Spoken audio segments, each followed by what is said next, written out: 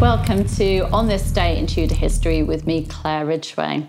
Now, today I'm taking you back to the reign of Queen Mary I. For on this day in Tudor history, the 21st of September 1557, Henry Pendleton, theologian, chaplain, and friend of Bishop Bonner, was buried at St Stephen's Walbrook in London. Now, you've probably never heard of Henry Pendleton.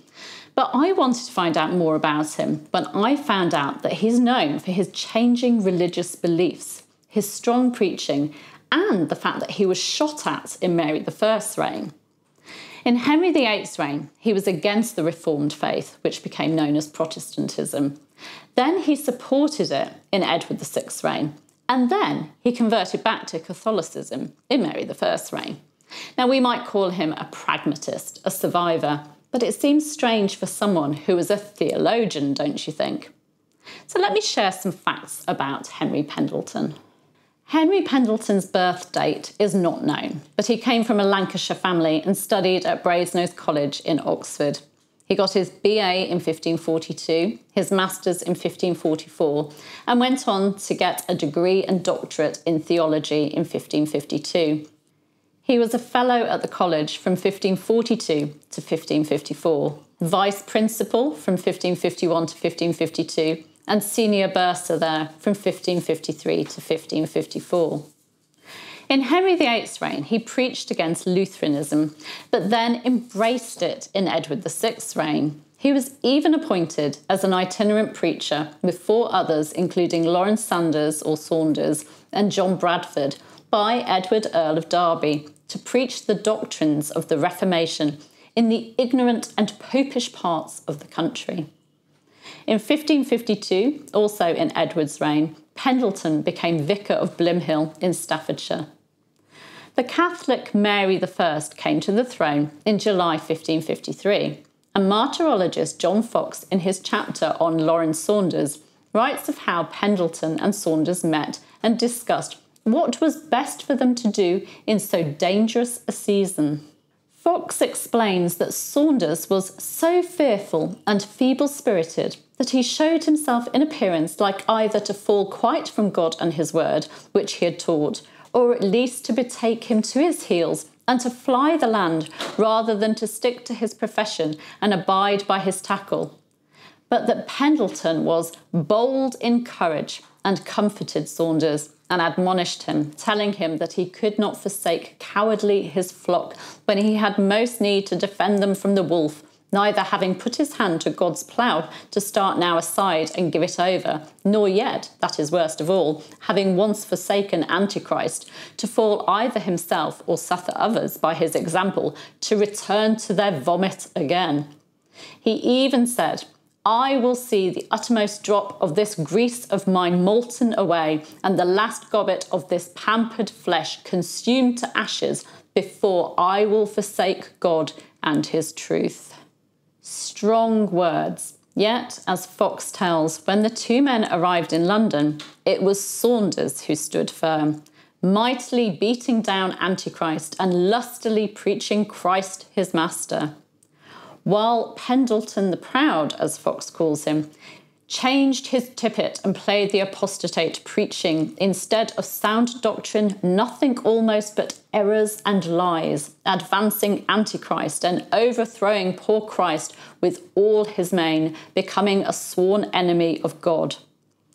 Pendleton turned back to Catholicism while Saunders stayed true to his faith and was burnt as a heretic in February 1555 as a result.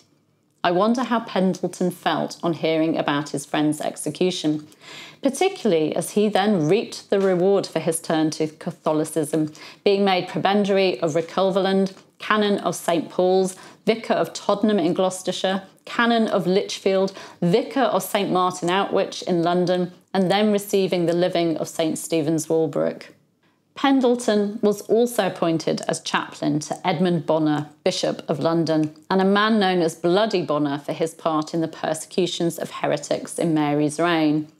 While serving Bonner, Pendleton took part in disputations with Protestants who'd been arrested. Men like his fellow preacher John Bradford, who he visited in prison.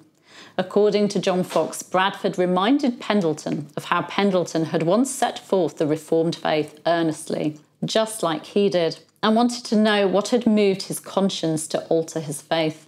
Pendleton asked him why he was imprisoned, and Bradford explained that it was due to his beliefs about the sacrament, that he denied that men were really receiving Christ's body. Foxe writes, here, Master Pendleton, half amazed, began to excuse himself if it would have been as though he had not denied fully transubstantiation indeed. And the two went on to debate this. Bradford was burnt at the stake as a heretic in July 1555. Pendleton was famous for his preaching in Mary's reign, preaching to what was said to be 20,000 people on Easter Monday 1557. However, not everyone enjoyed his preaching.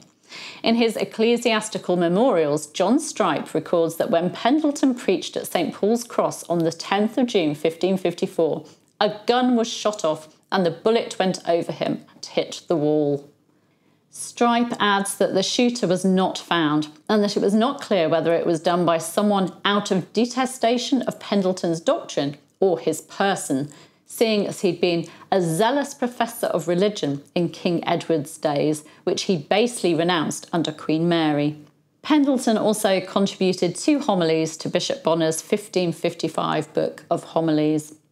Pendleton died sometime in September 1557, and according to John Foxe, at his death, full sore repented that ever he had yielded to the doctrine of the papists. However, his biographer L.E.C. Wooding notes that references to a work now lost entitled A Declaration of Henry Pendleton, D.D., in his sickness of his faith in all points, as the Catholic Church teacheth against slanderous reports against him, suggests that this was a matter of some debate. Did he change his faith once more at his death? We just don't know, but perhaps so. He'd seen his friends and fellow preachers, Saunders and Bradford, go courageously to their deaths, strong in their Protestant faith. Pendleton was buried in his own church, St Stephen's Walbrook, on this day in 1557. Minister Robert Halley, in his 19th century book Lancashire, Its Puritanism and Nonconformity, describes Henry Pendleton as an able man, handsome, athletic, possessed of a fine, clear voice, mighty in the management of ready speech and powerful utterance, and writes of how his preaching was in popularity and influence second only to that of John Bradford. Also on this day in Tudor history, Sunday, 21st of September 1578, in the reign of Queen Elizabeth I, Robert Dudley, Earl of Leicester, married Lettice Devereux, née Knollys, in a secret marriage at his house. So secret was it that he only told his chaplain and his friends the day before. Leicester was marrying the woman that Elizabeth I had dubbed the she wolf, so he knew that his queen would not be happy. You can find out more about the secret wedding and Leicester's bride in last year's video. You'll find a link to that in the description.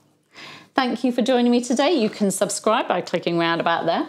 You can hit the bell to be notified as these videos go live, and you can give me a like and leave me a comment. I'll see you soon. Take care. Bye bye.